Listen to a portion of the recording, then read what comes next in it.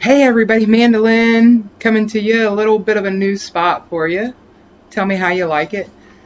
So I'm coming to you about this full moon in Aries, explosive energy. And I'm going to get into a little bit of the alignments and the energies. But then I am going to go on to the information that I've received and leave all of the details to the astrologers. You will find their links in the description below. And while you're down there, go ahead and click that subscribe button if you're new. Welcome aboard.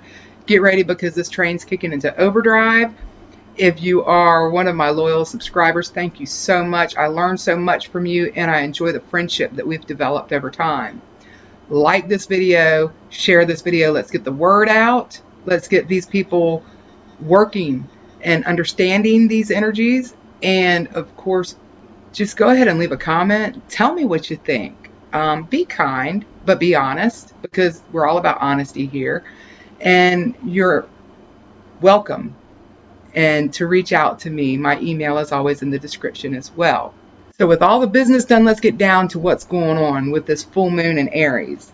It's going to happen tomorrow on October 1st at 5:05 p.m. my time, which is East Coast United States and wow, what the things that I've seen in in these alignments, the things that I've experienced, this is very transformative.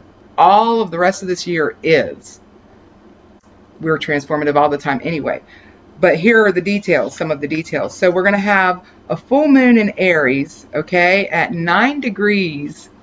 9 degrees, 9, okay, it's an Indian is we're, we're starting something new and it's a full moon. So we're releasing energies. We're illuminating those things that need to be let go. And that brings me to another interesting point that we've got Aries, okay, which is the moon, opposing Libra. And a full moon, that's what it is, they're opposing. Okay, new moon is conjunct, they're together.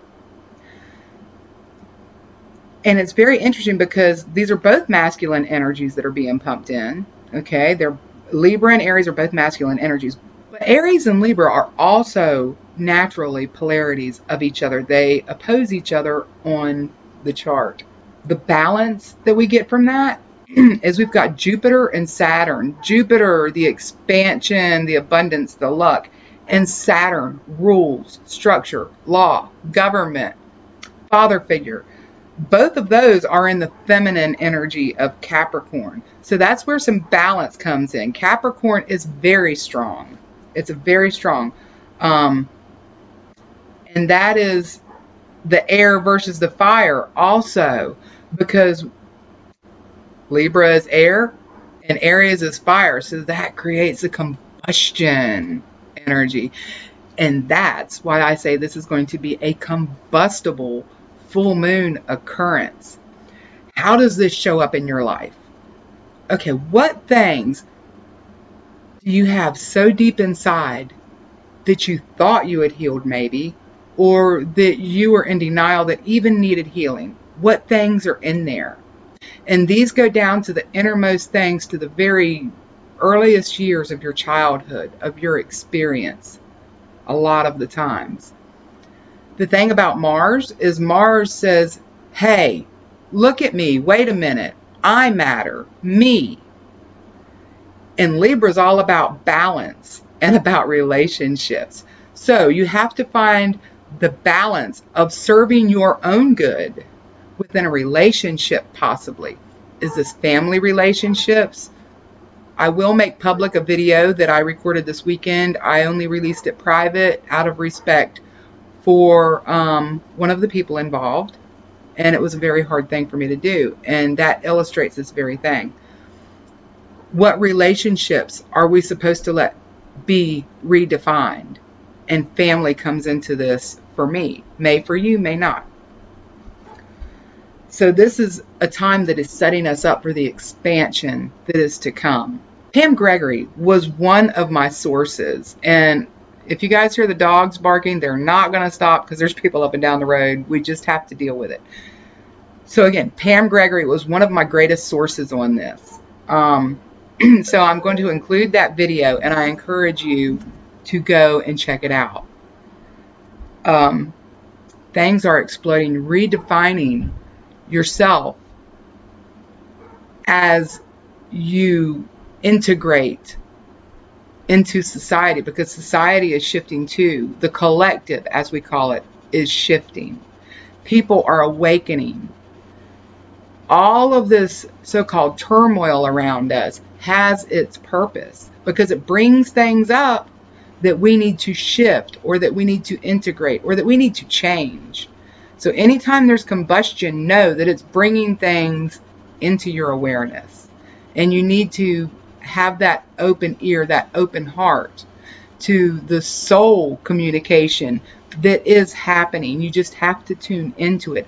And the hardest part of that is trusting it. So let go of these things that bring about doubt, that bring about um, where you think somebody else, their need or want, or even opinion is more important than you.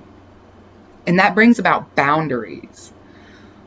Because if you're like me, um, family has been very important to me, and family has just completely imploded during this. There comes a time when you need to realize that by doing too much, sometimes you are either keeping that person from stepping into their own, or you are you're stepping on the toes of another that is getting ready to step into a certain energy. And in doing so, um, you've got to realize that these things are the key to that other person's growth. And while you feel like maybe you are letting somebody down, what you are really doing is lifting them up. And like I said, this is all about polarities, this full moon. There are so many polarities happening here uh, in the energies that combustible, yes. So let's bring this down into the you that doesn't follow astrology and doesn't understand it because I understand that mentality so very well. How do you apply this? Well, be sensitive to the energies that are coming in to help you and to influence you and to guide you. And also realize that there are changes happening within you all the time. I have felt such incredible guilt about redefining my role in a relationship with a family member. But what I realize is that's liberating to me and that's liberating to that family member, even if it does create tough times in the interim. So, in this energy that's here to assist you to shift things so that it's more aligned with what it is that you desire to manifest. And that way you can define more easily with this release of the full moon. You can define more easily your role in society, your role in the collective. You cannot fulfill this desired role if you're still carrying around these limiting energies. So with that being said, the last thing that I want to do is, since it is going to be so explosive, I would like for you to just take a moment and ground with me. And this is a technique that I learned from my, my friend Sonali Sheth, who um, I met and, and shared QHHT with. And she did a session with me, and she ended the session with this very powerful grounding exercise that I now utilize often. So take that deep breath, find that place to your center.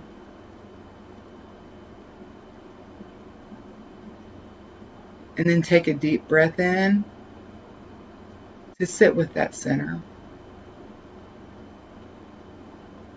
And then I want you to picture the earth. And at the center of the earth is this huge, just heavy, strong metal ball. ball. And I want you to feel that ball pull you to it. Just feel the pull and allow it. feel yourself become connected to the energies of the earth, of Gaia. And then feel the embracing arms of Mother Gaia. And let her help you to transmute these energies that create confusion, fear, anxiety.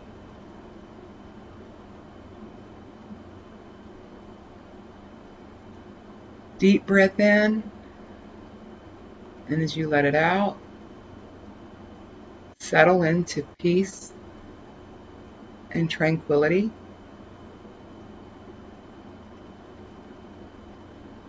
And feel it disperse throughout your body as though it's a gentle rain of pink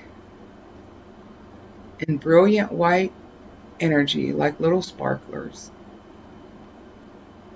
as it sizzles through all of your energy.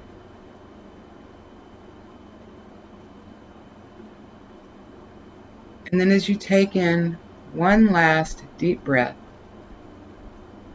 pull that energy up through your feet, your legs, your torso.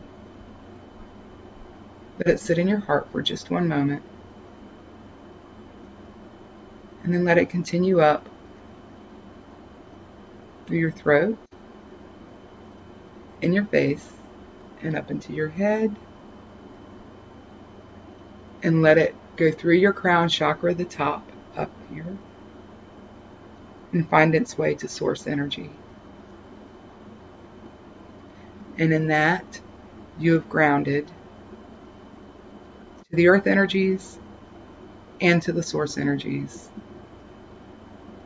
And let that blend of energy sit in your heart and offer you strength and encouragement and love and healing as you release. In this full moon, explosive full moon in Aries.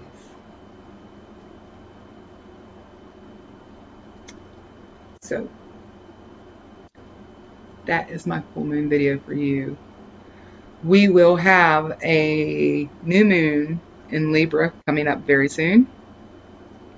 And that's going to be interesting because we also have another full moon at the end of the month, all in October. Take your time. Don't be impulsive like Aries wants you to. See your path clearly. Do not make a decision based on a crisis or anxiety. See the full picture and ask your higher self to help you make the proper decision. So comments down below, everybody, and continuing on, let me know if you felt an effect from these energies if you're new to this. Let me know if you picked up anything different that I didn't mention. Love to share with everybody. That's what this is about and just keep yourself in that beautiful energy of expansion and change Right. So.